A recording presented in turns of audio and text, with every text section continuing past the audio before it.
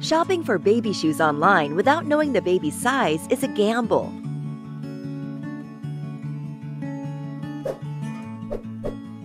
The shoes you order may end up being too large or too small.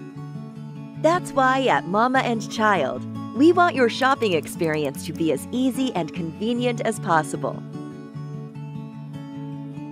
All you have to do is measure the size of your baby's feet. It's really simple. Trace the outline of both of your baby's feet on a flat piece of paper. Be sure to measure each foot separately with a ruler.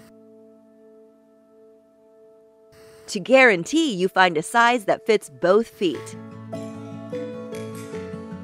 Now use these measurements as a reference when selecting your baby's newest pair of shoes from our wide range of the most adorable baby shoes that you are sure to love.